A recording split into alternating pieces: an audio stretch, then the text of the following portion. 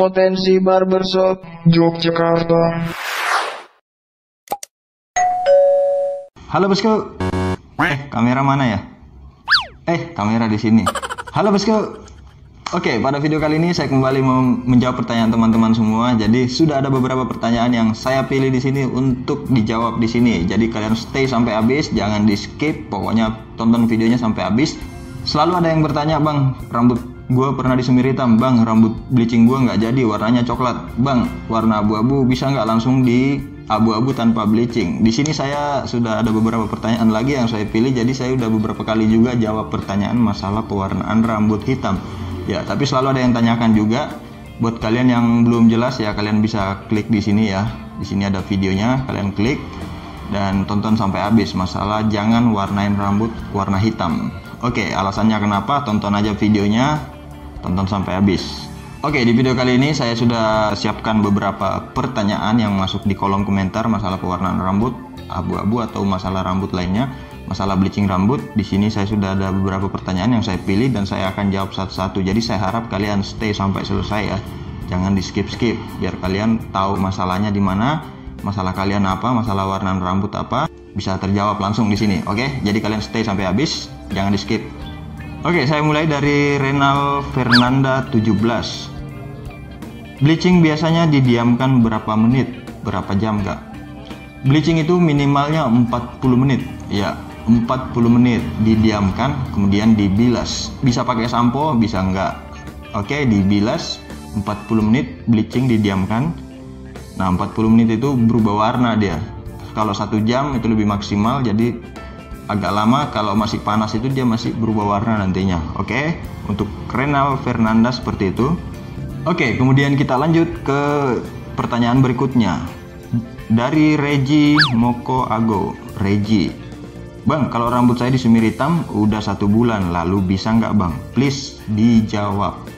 Baru satu bulan, saya udah beberapa kali, saya udah beberapa kali garap, garap bekas rambut semir hitam, itu baru tiga bulan, empat bulan, itu hasilnya belum maksimal, apalagi yang baru satu bulan. Intinya belum maksimal warnanya dan kalian cuman buang-buang bleaching ya, kalau mau bleaching semir rambut hitam, karena rambut hitam itu perubahan warnanya sulit banget, sulit banget warnanya berubah warna bleachingnya. Jadi cuman buang cuman buang-buang bleaching kalau kalian bleaching semir rambut hitam yang baru sebulan yang lalu.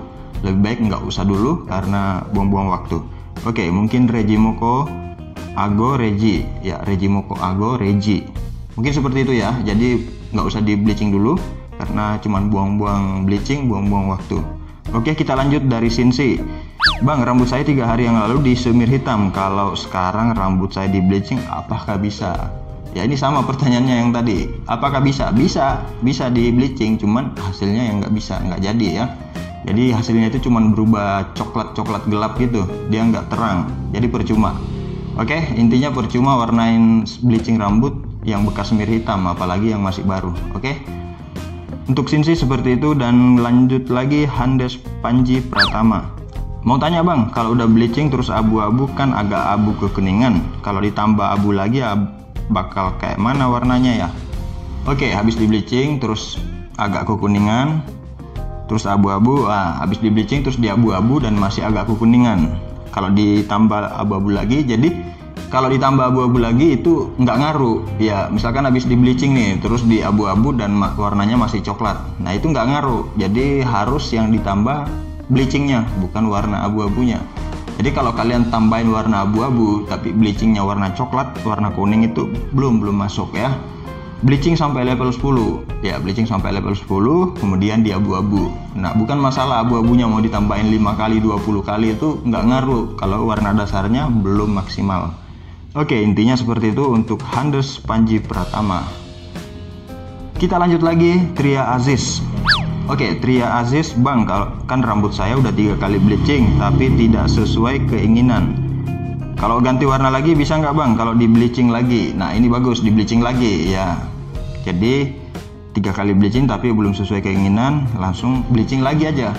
Tapi perhatikan lagi rambutnya, rambutnya ini udah kasar apa udah udah kasar banget gitu loh jadi kita cek lagi rambutnya karena takutnya kalau di bleaching lagi bisa sampai empat kali bleaching kalau warnanya belum berubah tapi takutnya nanti bisa patah-patah ya rambutnya bisa percuma gitu loh rontok ya rontok patah gitu. Jadi cek dulu rambutnya dicek dulu rambutnya. Ini masih memungkinkan untuk di bleaching atau enggak? Kalau enggak di stop aja. Oke untuk triasis seperti itu. Kemudian kita lanjut dari Janza Jansa Jansa Abu Sultan. Rambut saya sudah berubah 85% berarti 15% hitamnya. Dan ingin saya warnai semua agar kelihatan 100% beruban. Kira-kira saya ambil warna apa ya yang cocok rambutnya 85% beruban kemudian mau diwarnain biar ubannya kelihatan rata gitu. Kelihatan semua putih.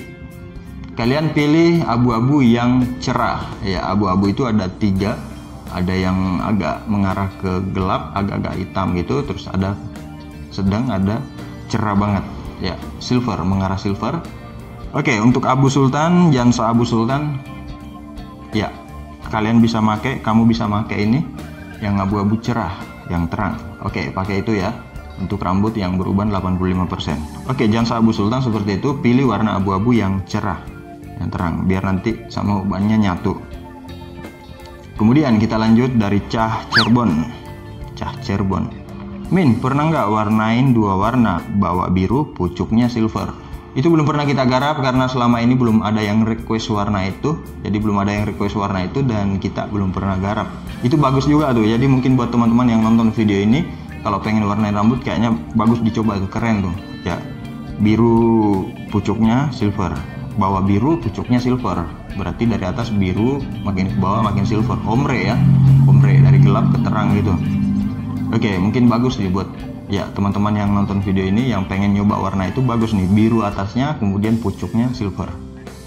Oke, okay, nanti itu belum kita garap untuk Cak Cirebon ya, belum kita garap karena belum ada permintaan, tapi bisa nanti kita rekomendasiin ke customer yang datang di Potensi Barbershop ya. Adam Giovanni 99, lokasinya di mana? Lokasi di Yogyakarta. Kalian bisa cek alamatnya lengkapnya di Google Maps. Ya, sekarang zamannya udah enak. Tinggal ketik ketik ketik ketik ketemu satu genggaman kita menjelajahi seluruh dunia, seluruh Nusantara ya. Jadi nggak perlu tanya ya asal tahu namanya ini ini oh, cari di Google Maps ya. Untuk Adam Giovanni 99 lokasi di Yogyakarta. Untuk alamat lengkapnya, alamat jelasnya cek Google Maps. Harry Reeve, kalau misalnya baru di semir hitam beberapa hari mau diwarnain abu-abu apa bisa bang? Belum bisa.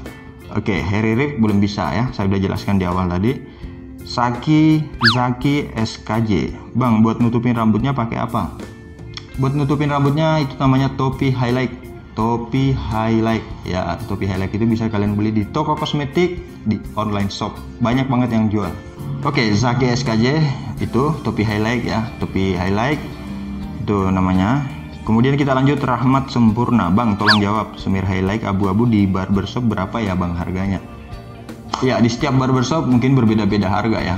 Menyesuaikan kotanya sendiri, jadi mungkin Jakarta, Bandung itu mungkin harganya lebih di atas lagi. Ya, kalau di Jogja ya sekitar ya 300 kurang lah. Murah lah ya. Oke, kita lanjut lagi yang dibutuhin dari ini dari Muhammad Jenny. Muhammad Jenny yang dibutuhin berapa biji kotak? Berapa biji kotak warna totalnya Om? Tergantung rambutnya. Jadi rambutnya kita nggak bisa kalau rambut standar cowok ya itu minimal ya dua kotak lah atau satu kotak setengah itu bisa. Satu kotak setengah lah bleaching bleaching ya. Untuk bleachingnya satu kotak setengah kalau krim pewarnanya ya ya se sejempol inilah. Ya sejempol ini kira-kira segitulah ya untuk untuk Muhammad Jenny. Ya dua kotak. Dua kotak masih sisa lah kalau rambut-rambut yang standar cowok rambut sekarang kan cowok kan rata-rata tipis sampingnya atasnya aja atasnya doang nih ya yang kita harus warna. Jadi ya satu kotak lebih lah. Oke Muhammad Jenny seperti itu. Kemudian Neno Gamers. Neno Gamers. Bang itu bleaching pertama kedua ketiga pakai pirang semua apa kagak bang? Bleaching itu pirang warnanya pirang. Jadi proses bleaching itu proses pembakaran pigmen hitam. Ya jadi bleaching ini dia proses pembakaran pigmen hitam ya perlu kalian ketahui jadi makanya warnanya itu jadi berubah makanya kenapa kalau ada warna semir hitam di situ dia nggak bisa berubah karena ada semir hitamnya di situ jadi dia nggak bisa pigmennya nggak bisa ter maksimal dibakar gitu ya dihilangkan karena masih ada semir hitam Nah, paling enak itu kalau rambut yang nggak pernah disemir hitam. Di bleaching itu, bleaching pertama dia langsung cerah. Itu yang belum pernah disemir, apalagi yang per, belum pernah disemir sama sekali, itu yang paling enak di warna untuk warna abu-abu ya. Jadi cukup dua kali bleaching kalau yang belum pernah kena semir itu langsung jadi dia. Ya itu untuk warna abu-abu.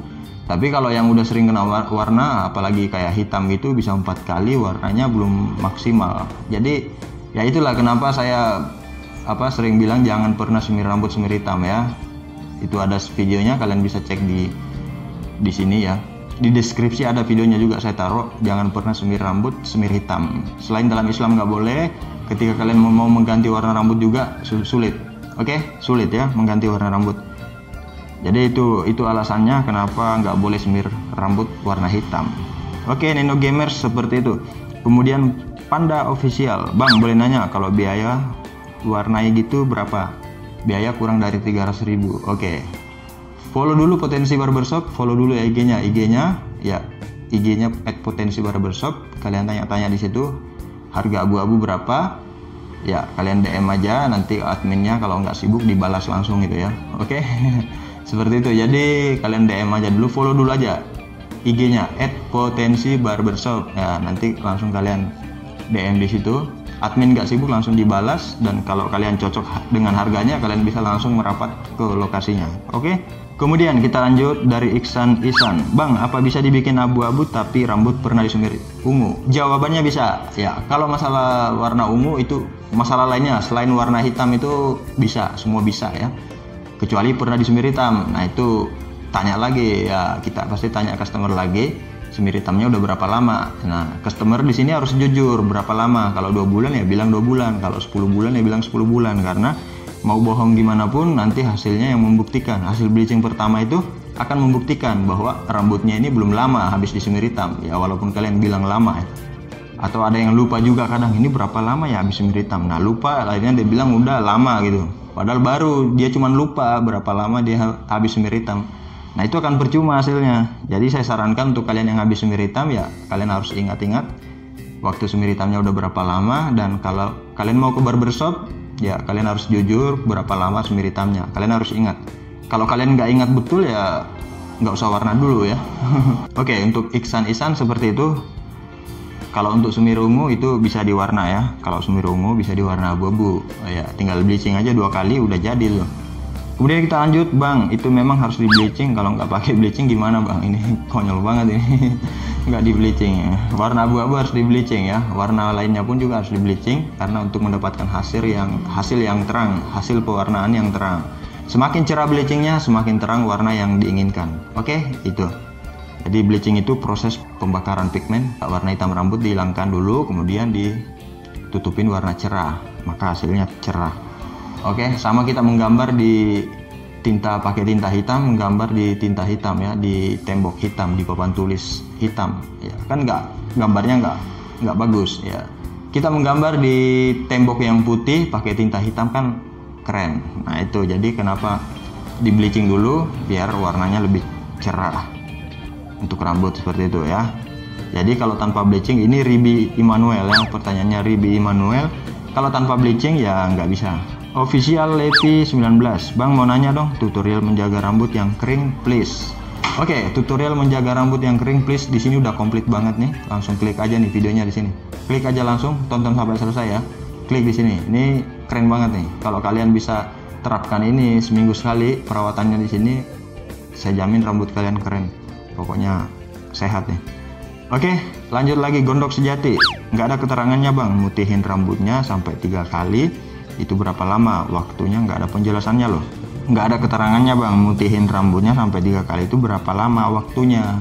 Kalau tiga kali dikali satu jam berarti tiga jam ya. Kalau kalian kasih waktunya per bleachingnya itu satu jam berarti tiga jam. Itu udah putih. Kalau 40 menit berarti kurang dari tiga jam ya. Kalau itu masalahnya pembleachingan itu butuh waktu di atas 30 menit. Butuh waktu untuk merubah warna itu baru kita lanjut lagi keramas lagi lanjut lagi. Itu jadi tiga jam lah. Nah, sama abu-abunya 4 jam. Makanya saya bilang kenapa warna rambut abu-abu ini minimal 3 jam prosesnya minimal. Ada yang sampai 6 jam juga tergantung rambutnya lagi. Balik lagi ke rambutnya karena rambut itu ada yang cepat cerah ada yang lama. Oke? Gondok sejati seperti itu ya. Kemudian kita lanjut dari Delilah Mulia. Bang bleachingnya pakai apa? Kok sana putih gitu? Gue udah lima kali tetap nggak berhasil warna abu-abu. Masih ada kuningnya gitu itu ya saya nggak tahu rambutnya habis diwarna apa tapi kalau sampai lima kali harusnya udah putih ya. Harusnya rambutnya udah putih kalau bleachingnya. Kalau bleaching itu kan sama aja semua bleaching bubuk itu semua sama semua sama. Cuman ada yang merek ini ada yang merek itu. Jadi semua sama prosesnya semua sama semua membakar pigmen. Jadi semua mau pakai bleaching apa pun dia akan hasilnya tetap sama ya. Seperti itu. Ya mungkin ada yang bagus mungkin ada yang enggak yang kurang bagus gitu aja ya tapi semua bleaching pasti ujung-ujungnya akan putih seharusnya seperti itu. Tapi ini udah lima kali harusnya itu udah putih. Lima kali bleaching itu harusnya udah putih. Kalau belum putih berarti rambutnya pernah dicat apa gitu kan? Saya nggak tahu juga. Di sini nggak ada keterangannya jadi ya coba kalian periksa lagi rambutnya habis diwarnain apa gitu ya. Oke untuk Delia Delilah Mulia. Delilah Mulia seperti itu jawabannya. Semoga paham ya itu sekali pakai atau bisa berkali-kali. Jadi dia bertanya topi highlightnya itu bisa sekali sekali pakai atau berkali-kali? Topi highlightnya itu bisa berkali-kali ya bisa berpuluh-puluh kali beratus-ratus kali. Selama belum sobek itu bisa dipakai. Selama bolongannya itu belum sobek lebar itu masih bisa dipakai karena dia karet. Memang awet tahan lama ya. Ada juga yang sekali pakai yang modelnya kayak plastik gitu tapi sobek cepat sobeknya. Nah itu sekali dua kali udah hancur dia kalau karet ini bertahun-tahun lah. Ya tiga tahun nyampe lah ya. Apalagi kalau cuma buat sendiri gitu. Buat sendiri 10 tahun bisa nyampe asal kalian pintar ngerawatnya. Oke itu dari Hafiz Rahab ya. Hafiz Rahab komentar di topi highlight highlight abu-abu. Q&A jawab pertanyaan. Itu sekali pakai atau bisa berkali-kali? Oke jadi berkali-kali ya. Bahkan berpuluh-puluh kali beratus-ratus kali beribu-ribu kali Oke, kemudian kita lanjut Danis Ramadhani. Bang, kalau abu-abunya kurang ditambahi abu-abunya apa bleachingnya, Bang? Jelas bleachingnya. Ya, kalau abu-abunya kurang, jangan abu-abunya ditambahin. Abu-abunya mau di double 10 kali pun kalau bleachingnya belum maksimal dia nggak akan maksimal. Jadi abu-abunya yang bukan abu-abunya yang ditambahin tapi bleachingnya yang ditambahin oke bleachingnya yang ditambahin ya Danis Ramadhani seperti itu oke kemudian kita lanjut lagi WP WP WP Cruise Bang, saya kan udah bleaching dua kali, udah sampai putih, bisa dibilang udah level 10. Terus saya mau pakai warna abu-abu kok malah nggak nempel ya bang? Awalnya saya udah pernah bleaching dua kali, tuh terus diwarnain abu-abu. Nah pas itu sih warna abu-abunya nempel. Setelah beberapa hari, warna abu-abunya pudar bang. Mungkin saya terlalu sering keramas, lalu saya ingin mewarnainya kembali. Saya bleaching lagi, dah. Tapi pas diwarnain abu-abu malah nggak nempel. Solusinya ada bang. Yang seharusnya udah nempel, ya. Seharusnya itu udah nempel. Bleachingnya udah sampai level 10. Kalau udah level 10 itu harusnya maksimal banget abu-abunya, udah bagus banget. Nah, itu karena kuncinya, kuncinya warna abu-abu ini sebetulnya dari bleachingnya ya. Kalau kalian bisa membuat warna bleachingnya terang ya harusnya warna yang diinginkan akan cerah mau warna apa pun itu silver abu-abu dia akan cerah karena dasar bleachingnya aja udah cerah Oke, jadi untuk WV Cruise seperti itu ya. Harusnya udah jadi. Kalau udah level 10 itu harusnya abu-abunya udah maksimal karena kunci dari pewarnaan abu-abu ini bleachingnya. Kalau bleachingnya bisa maksimal, warnanya pasti maksimal. Oke, jadi di sini mungkin segini aja dulu pertanyaan yang saya bisa jawab hari ini. Jadi mungkin seperti itu dulu. Semoga terjawab semua pertanyaan teman-teman semua di sini dan Oke, selamat menjalankan ibadah puasa. Sukses selalu. Sampai ketemu lagi.